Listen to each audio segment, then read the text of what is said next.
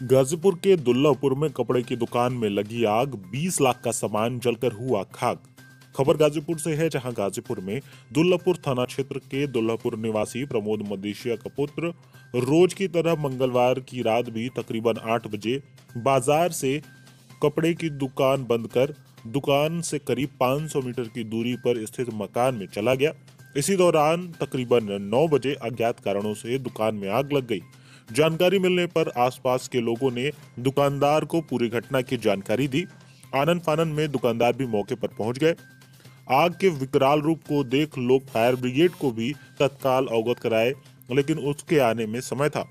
लोगों ने खुद के प्रयास से ही आग बुझाना शुरू कर दिया। जो साधन मिला उन लोगों ने उसी से आग बुझाना शुरू किया।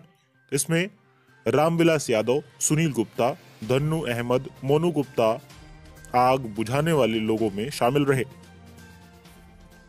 रात में तकरीबन साढ़े दस बजे फायर ब्रिगेड की गाड़ी भी मौके पर पहुँची। फायर कर्मियों ने मौके पर पहुंचकर आग को पूरी तरीके से बुझा दिया। पीड़ित ने बताया कि आग की घटना में लगभग 20 लाख रुपए का सामान जलकर खाक हो गया है।